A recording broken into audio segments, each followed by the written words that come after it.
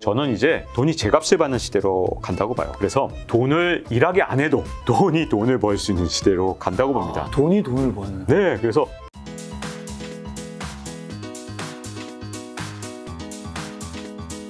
자, 그럼 금리 인상 얘기로 좀 돌아와서 금리 인상 시대 그러면 돈은 좀 어디로 이동하는 건가요? 부위기에는 그때는 어디에 있을까요? 그동안은 이런 구호가 있었어요. 돈을 일하게 하라. 맞아, 맞아, 맞아. 네, 근데 그 구호가 왜 나왔을까? 평소에 돈이 놀면 안 되기 때문에 네. 왜 그러냐? 그동안 돈값이 쌌기 때문이에요. 그러니까 돈이라는 게 좀 하찮은 존재가 됐어요. 하찮은 왜냐하면 존재였죠. 돈값이라는 건 결국은 금리인데 이게 한때 우리나라에서 주택담보대출이 2%대까지 떨어졌다는 건 무슨 말이냐? 그 돈값이 2%. 그건 정말 우리 대한민국 역사상 2%간 적은 한 번도 없거든요. 인류사에서도 이렇게까지 저금리가 된 건 최근 30년 동안이 정말 이례적인 상황입니다. 원래 돈을 빌릴 때는 뭐 중세나 이럴 때 10%가 넘었던 적도 되게 많고요.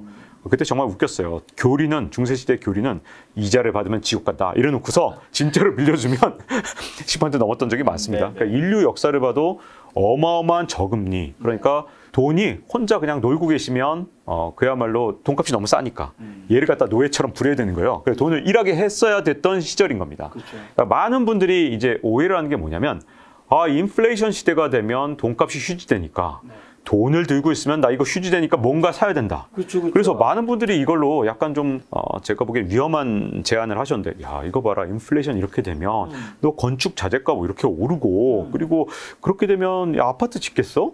그럼 지금이라도 아파트 더 사야지. 너 자꾸 실물에 투자해야 돼. 주식 투자하라니까. 돈은 이제 휴지된다니까. 네. 라고 실물 투자, 즉 다시 말하면 주식이나 부동산을 사야 된다는 논리로 사용되었죠. 맞아, 맞아. 그런데 이게 크게 저는 잘못됐다고 봅니다.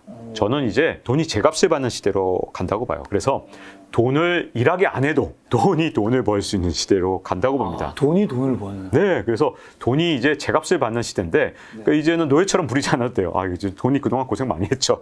지금 밤에 고생 시켜야 돼. 내가 자는 동안에도 일하게 하라. 이게 뭐냐? 돈을 노예처럼 막 자꾸 일하게 해야 되는 거잖아요. 최근 몇년 네. 동안의 네, 메시지였죠. 메시지였죠. 저는 이제 그 시대가 어, 좀 끝나갑니다. 그래서 돈님이 이제는 혼자 계셔도 그냥 조용히 혼자 계셔도 되는데 자 이제 이런 추상적인 얘기를 구체적으로 들어가 보겠습니다. 어, 저는 아직은 인플레이션 시대로 갈지 안 갈지는 잘 모르겠어요. 근데 혹시 만약에 인플레이션 시대, 그 인플레이션 시대라는 건 뭐냐면 아까 이제 우리가 전반부부터 계속 말씀드렸던 건 저도 이제 인플레이션 피크를 치고 뭐, 뭐, 그 다음에 좀 낮아지긴 할 거지만 문제는 인플레이션 압력은 계속해서 되면서 조금만 돈 풀면 다시 오르고 인플레이션이 좀 돈을 좀 저 다시 죄면 떨어지고 이런 시대로 저는 갈 거라고 생각하는데 그렇게만 되더라도 어떤 문제가 생기냐면 그게 어 1970년대처럼 이제 그 이제 약간 Great Inflation이라고 해서 인플레이션이 조금 지속적으로 되는 그런 상황이 되거든요.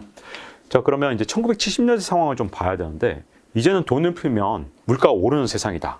그런 세상이 되면 옛날만큼 마음껏 돈을 못 풀어요. 그러면 이제 막 이제 연준에서 막 초저금리로 막 유지하고 이런 게 잘 어렵다면 금리도 중금리 시대가 되는 거죠. 이제 그러면 1970년대 어떤 상황이 있었냐? 1970년대 이제 물가가 막 폭등을 했습니다. 어느 정도로 올랐냐면 1980년 같은 경우에 물가가 14%가 올랐어요. 미국에서. 어마어마하죠. 미국 같은 선진국이 14%가 올랐다 전년 대비로 그렇게 소비자 물가가 막 폭등하던 시절이니까 자 그 논리대로라면 주식 투자하고 실물 자산 가져야 되죠. 1970년대 그리고 부동산 샀어야 되겠죠. 1972년 12월에 제가 주식 투자를 시작했다. S&P 500 지수에 투자를 했다. 자, 1973년 1월부터 요 물가가 팍 오르기 시작합니다. 73년 말에 무슨 일이 있었냐? 바로 오일 쇼크가 일어나죠. 73년에. 그리고 72년 12월에 이제 제가 주식 투자를 S&P 500에 투자를 해서 딱 10년 동안 묻어뒀다. 10년 뒤에 어떻게 됐느냐? S&P 500 지수는 14%가 떨어졌을 겁니다. 10년 동안 오르긴커녕 떨어졌어요. 떨어졌어. 10년 동안 보유했어도. 자, 그 시절에 미국의 은행에다가 투자를 했다. 그럼 그 당시 미국의 금리는 보통 거의 8, 9%. 그러니까 자 이제 만약에 이제 물론 이제 망하긴 했지만 주택 대부조합 이런 데는 금리가 훨씬 높았거든요. 어 물론 망했습니다. 주택 대부조합들은 수도 없이 근데 어제 중요한 건 그런 데는 금리가 우리나라 저축은행 비슷해서 금리가 높은 데거든요. 그런데 잘 저금했으면 10%가 넘는 금리였는데 저 그렇게 금리 높은 데만 잘 찾아갔으면 만약에 1972년에 은행에다 예금을 했고 10년 뒤에 어떻게 됐냐? 거의 두 배 됐을 거예요. 자, 그 얘기는 무슨 말이냐면 돈님이 이제는 이제 대우받는 이렇게 노예계약처럼 어딘가 일을 안 시켜도 그야말로 가만히만 계셔도 이자를 막 어, 같이 친구들을 데리고 오는 그런 시대가 만약에 인플레이션이 오면 올 수 있기 때문에 앞으로 우리가 어떤 시대가 올지 잘 모르는데 인플레이션이 온다면 너무 무리하게 돈을 굴리지 않고 어, 그러니까 그 전에 이제 돈을 일하게 하던 시대에는 내가 돈이 100원 있으면 100원을 다 일시켜야 되잖아요. 그렇죠. 근데 이제는 이제 돈이 이제 가만히 있어도 될 수도 있기 때문에 좀더 포트폴리오를 해서 어떤 건 이제 국채금, 그러니까 사실은 이런 겁니다. 이게 국채금리가 상당히 높을 때 국채도 좀 사고, 그 다음에 주식하고 이제는 좀 배분을 좀 해놓는 게 좀더 유효한 투자가 될 수 있는 시대. 그러니까 이- 옛날에는 국채 같은 데서 돈을 놀리면 안 되지라는 시대였다면 지금은 은행 예금이나 국채도 어, 어느 정도가 되기 때문에 이제 자산 배분에 의한 투자. 그러니까 왜냐하면 양쪽 다 봐야죠. 주가가 이제 또, 또 오를 수도 있으니까. 근데 이제 옛날에는 주식에 무조건 올인을 하고 부동산에 무조건 올인하는 게 더 큰 돈을 벌었다면 이제는 적당한 포트폴리오가 중요하고요. 부동산 같은 경우도 어, 똑같이 1972년에 부동산, 미국 부동산 샀다. 그러면 실질 가격은 10년 뒤에 좀 더 떨어진 걸로 나타났기 때문에 부동산이 그래도 주식보다 나았어요. 주식보다 훨씬 나았는데 그렇다 하더라도 어, 여러분들이 생각하는 것만큼 진짜로 그 어떤 이제 무조건 주식이나 부동산에 다 넣어야 된다. 이제 돈은 휴지된다. 그게 아니라 어, 놀랍게도 돈이 돈값을 하기 때문에 달라집니다. 이유는 뭐냐면 이거 경제학적으로 조금만 더 설명을 드리면요. 금리라는 건 명목 금리라는 거. 그 이유는 우리가 지금 돈값은 결국 금리인데 금리라는 건 실질 금리에 바로 기대 인플레이션율을 더하면 됩니다. 그러니까 이게 어, 사전적 의미에서의 저기 금리가 되는데 요게 당연히 높아질 수밖에 없어요. 그러니까 많은 사람들이 돈이 휴지된다라고 생각해서 돈을 다 버리고 전부 실물에 사야 된다 이게 아니라 인플레이션율을 여기다 더하니까 보통 금리는 이렇게 결정되기 때문에 돈도 돈대로 친구들을 데려옵니다 이자로서.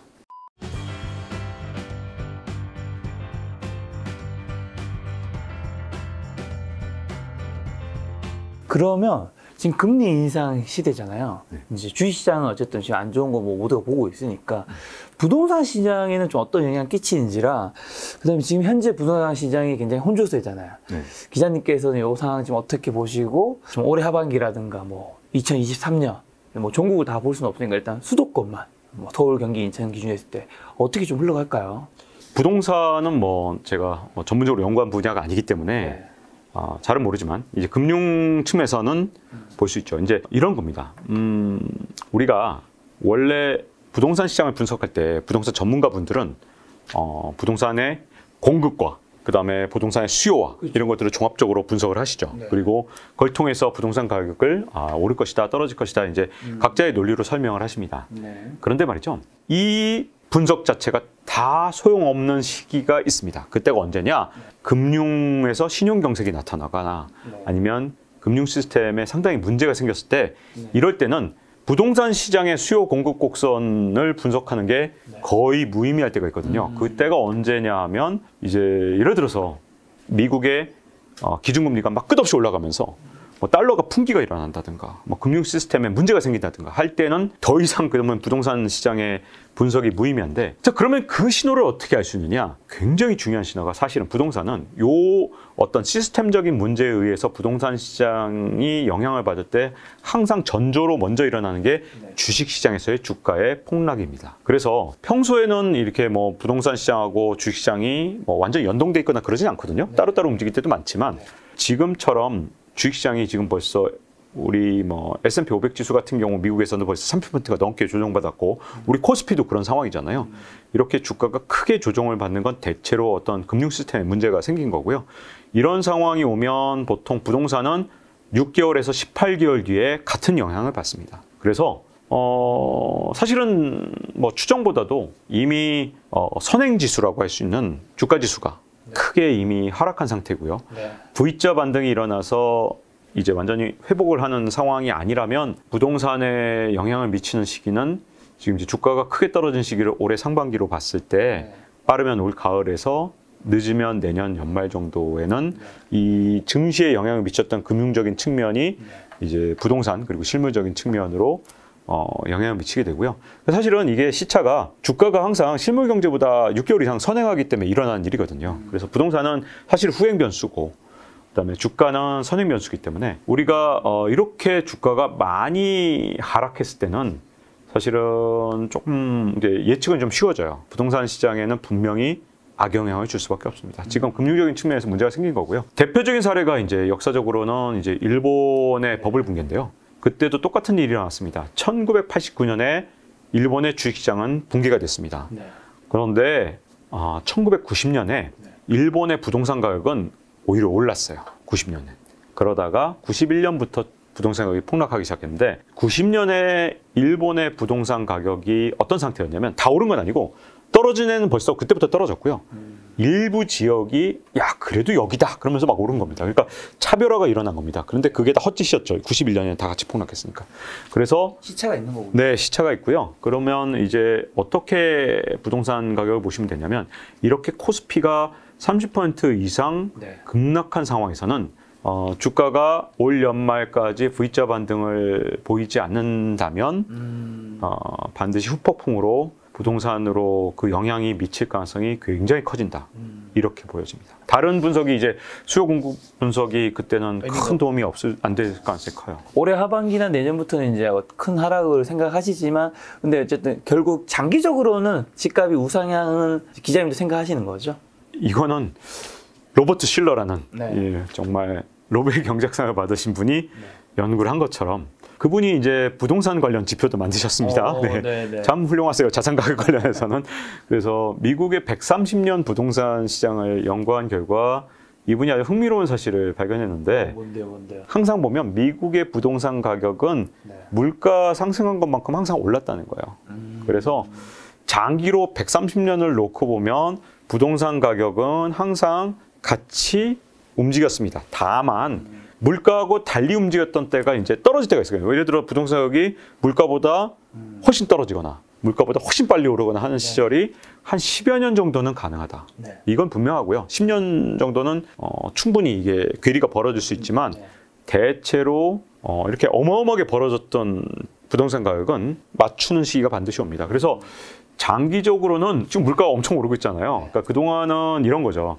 부동산 가격이 막 달려갔죠. 그렇죠, 그렇죠. 혼자서. 물가는 그동안 어, 전 세계적으로 본 겁니다. 부동산 가격이 전 세계적으로 다 폭등을 했는데 30년 동안은 선진국에서는 물가는 거의 안 올랐어요. 네. 우리나라 는 물론 20년 전, 30년 전 많이 올랐지만 우리- 우리나라 말고 전 세계적으로. 근데 이제 부동산 혼자 뛰어간 게 이제 키높이가 언젠가 맞춰질 거고. 근데 지금은 물가가 확 오르고 있는 상황이잖아요. 근데 물가가 이렇게 빨리 오른다면 뭐 이렇게 떨어졌던 기간은 한 10여 년, 10년 가장 최대가 한 10, 한 5년 정도고요. 어, 대체로 10년 이내로 다시 붙습니다. 그래서 물가가 이렇게 오르면 어, 부동산 가격도 당연히 실물인데 언젠가 붙죠. 근데 다만 그러려면 다시 돈값이 네. 제 값을 못 받는 시절이 또 와야 됩니다. 그러니까 지금 돈이 제 값을 받는 시절, 즉 다시 말해서 금리가 높아지면 어, 그 시절은 잠시 약간 이제 이격이 좀 이렇게 벌어지는 시기가 오는 거죠. 저는 이제 기자님 말씀 들으면 생각나는 게 사실 이 집값 전망이라든가 이제 내 집 마련에 대한 것들이 사실은 모두의 염원 중에 하나다 보니까 이런 영상이 나왔을 때 집값 하락을 얘기하든 이제 상승을 얘기하든 이제 다들 이제 안 좋은 이제 댓글 달리는 경우들이 있는데 어떻게 보면 이제 저는 작년에 집을 샀지만 집을 지금 가지고 계신 분들 하락하면 안 좋은 거잖아요. 그렇죠. 근데 어쨌든 장기적으로는 우상향하니까 거기서 약간 안도를 좀 가지시면 좋을 것 같고 만약에 집이 지금 없는 무주택자분들은 만약에 하락기 오면 이때도 어떻게 보면 싸게 살 수 있는 기회가 되니까 그렇죠. 그렇게 또 접근하면 네. 그다음에 좀 좋지 않을까. 갖고 계신 분들은 이제 하나만 주의하면 되죠. 왜냐하면 이게 장기적으로는 문제가 안 되는데 네. 단기적으로는 한 가지 문제점이 뭐냐면 금리가 올랐을 때 이걸 못 견디고 중간에 팔아야 되면 그렇죠. 그때가 항상 바닥입니다. 왜냐하면 음. 언제 집값이 바닥이겠어요? 사람들이 이게 집값은 언제 이제 어떠, 어떻게 보면 이제 집이라는 거의 가치는 어느 정도 유지가 되는데 문제는 요게 가끔씩 요럴 때가 있거든요. 그때가 어떤 때냐면 무리하게 집을 산 사람들이 네. 이제 마지널하게 한계 한계 상황에 있는 사람들이 네. 움직일 때 집값이 크게 움직이는데요. 그렇죠. 원래 이 사용 가치만큼 집값이 유지돼야 되는데 그게 가끔 이럴 때가 있는데 그때가 어떤 때냐면 사람들이 그 빚을 감당하지 못하고 일시에 다 같이 팔 때가 있습니다. 네. 근데 그 시점은 동시에 와요. 한 번에. 그러니까 그건 지금까지는 우리나라 부동산 시장에서 한 10, 한 2, 3년마다는 거의 꼭 왔었거든요. 너무 안타깝게도 모든 사람이 영끌을 하면 한 번쯤은 그게 꼭 그쵸. 지나가요. 그쵸, 그쵸. 그래서 문제점 뭐냐면 그때 안 팔고 지나가면 언젠간 예를 들어 일본도 1991년에 집값이 대폭락을 했지만 얼마나 떨어졌냐? 4분의 1 통황이 났습니다. 자, 근데 그것조차도 지금 이제 무려 91년이었으니까 지금 벌써 31년이나 됐잖아요. 도쿄도 23구처럼 모든 사람이 살고자 하는 그 인기 있는 지역, 도쿄도 23구가 이제 서울하고 비슷합니다. 도쿄도라는 건 굉장히 넓고요. 도쿄도 23구가 이제 서울 비슷한 곳인데 여기는 지금 예전 버블 붕괴 시절보다 집값이 훨씬 많이 올랐어요. 자, 그렇게 30년을 버틴 사람들은 네. 뭐다 됐지만 문제가 뭐냐면 일본도 똑같은 이- 현상이었는데 처음에 집값이 대폭락할 때 이제 한번 쫙 떨어졌다가 이렇게 V자 반등을 하는데 요 여기 뭐가 대폭락을 만들어냈냐면 못 견디고 그만 이자를 못 갚아서 경매 들어간 집들이 대거 등장한 그때 잠깐 아주 쐐기처럼 내려가거든요. 그래서 4분의 1 토봉이 났던 건데 그런 일만 생기지 않다면 사실은 집에 대해서 고민하지 않고 갖고 있으면 당연히 물가 오르면 물가 오른 만큼 오르는데 문제는 그 쐐기는 언제 일어날지 우리가 모르거든요. 앞으로 30년 우리가 살아가면서 그 쐐기는 반드시 한 두 번은 나타나거든요. 30년 동안은. 그러니까 그 쐐기에 버틸려면 그게 중요하고 그다음에 어 이제 아직 영끌 아까 집을 안 사신 분들은 집을 안 사신 분들은 그런 쐐기가 진짜로 중요한 집사의 기회인데 그건 미리 이제 저는 이제 뭐 부동산은 전문가분들이 많이 계시니까 부동산 전문가분들하고 뭐 경매나 이런 것들을 공부해 나가면서 준비를 하고 있으면 그 쐐기가 기간이 우리가 무슨 장기적으로 진짜 뭐 우리 경제 완전히 망하는 게 아니면 그 쐐기가 되게 짧아요. 보통 한 6개월 이내거든요. 그 쐐기에 어, 경매나 이런 걸 통해야 제가 보기에는 진짜 최저가에 살 수 있지. 웬만하면 사람들이 호가를 안 낮춥니다. 부동산 호가 어, 샀는데 예를 들어 뭐, 뭐 1억에 샀는데 그거 막 5천만 원에 팔 수 있어요 부동산은? 쉽게 못 그러죠. 잘 그냥 엉덩이에 아깔고 앉지 뭐. 그 쐐기는 항상 경매가 만들어내기 때문에 경매 공부를 해놓으면 한 30년에 두 번은 꼭 생깁니다. 어쨌든 굉장히 위험한 시기가 올 수 있으니까 영끌은 최대한 좀 조심해서 내가 감당할 수 있는 데까지만 대출을 하는 거는 굉장히 중요한 것이다. 네, 그 뭐 위험 시가 오는지 안 오는지까지는 정확히 몰라도 적어도 대비를 해놓을 필요가 있는 때인 것 같습니다. 네. 그럼 가상화폐 시장은요? 금승 이상 시대 사실 지금 굉장한 뭐 폭락을 맞긴 했는데 앞으로는 좀 어떻게 보세요? 주류 경제학을 공부한 사람들한테 가장 어려운 게 네. 가상화폐 같아요. 이게 워낙 새로운 거기 때문에 항상 제가 말을 참 조심할 수밖에 없고 음. 어, 예단하거나 뭐 하는 건 굉장히 조심하긴 하는데요. 네. 다만 이제 거시경제적 측면에서 가상화폐에 대해서는 이 부분을 말씀드리고 싶은데요. 저도 이제 블록체인 기술이나 아니면 가상화폐 기술들은 분명히 미래를 바꿔가는 진짜 엄청난 기술이라는 건 분명하다고 보는데요. 네.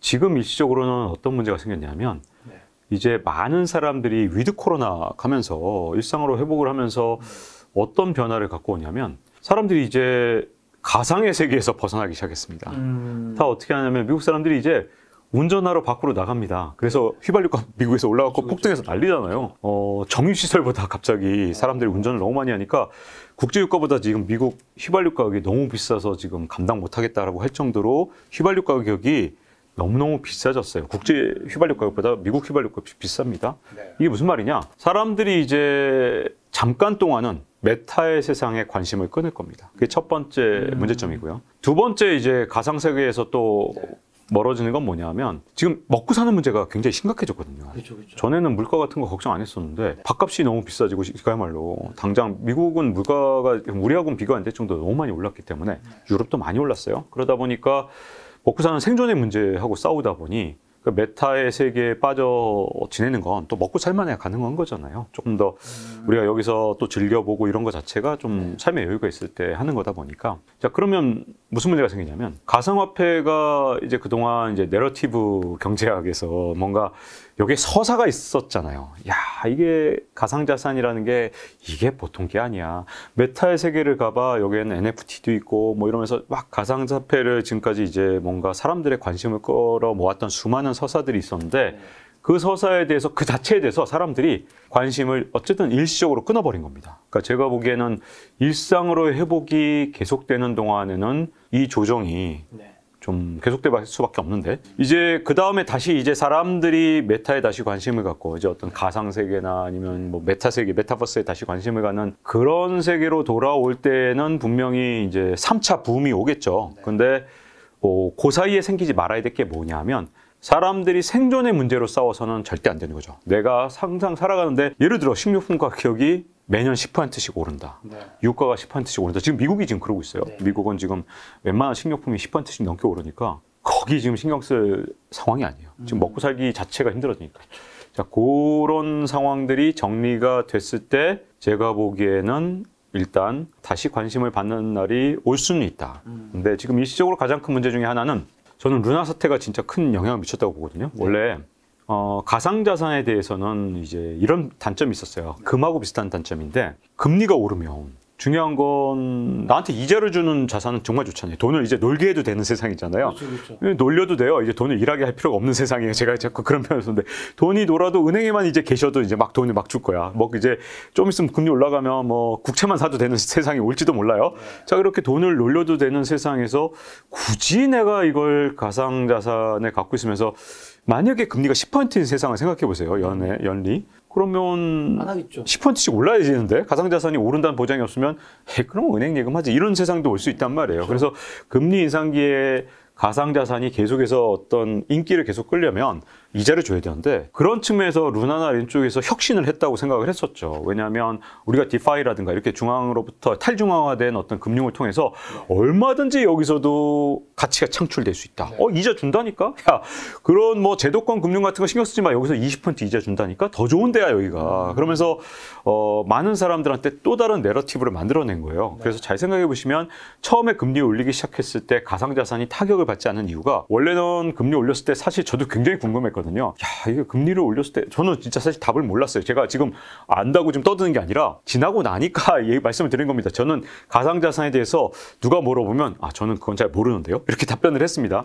근데 이제 behind hindsight라고 해서 지나고 나면 알게 되는 것들이 있기 때문에 자 가상자산이 원래 처음에 타격을 받지 않다가 루나가 굉장히 큰 타격을 준 게 바로 거기에 있습니다. 지금 현재 우리가 쓰고 있는 기존의 legacy 지폐들 있잖아요. legacy 화폐들. 이걸 대체할 수 있었던 희망을 줬던 그런 narrative의 어, 어떤 혁신을 만들어내고 있었는데 서사가 있었는데 그 서사가 타격을 받는 순간 멀쩡하던 이더리움이나 아니면 멀쩡하던 비트코인까지 다 타격을 받은 겁니다. 그게 지금 현재 두 번째 가상자산이 지금 현재 힘을 못 쓰는 이유거든요. 그래서 저는 이런 것들이 이제 두 가지 문제가 해결되면 될 것 같아요. 그래서 먼저 말씀드린 대로 사람들이 먹고 살 문제가 없는 상태에서 다시 어 이제 여유 있는 상태에서 여가를 즐기거나 또는 뭐 뭔가를 즐길 때 메타의 세계로 돌아온 상태에서 다시 서사를 만들어내야 됩니다. 저는 근데 블록체인이라는 곳이 워낙 혁명적인 생각을 하는 사람들이 여기 많이 가 있거든요. 그래서 뭐 또 다른 뭔가를 만들어낼 가능성이 있기 때문에 근데 그 다만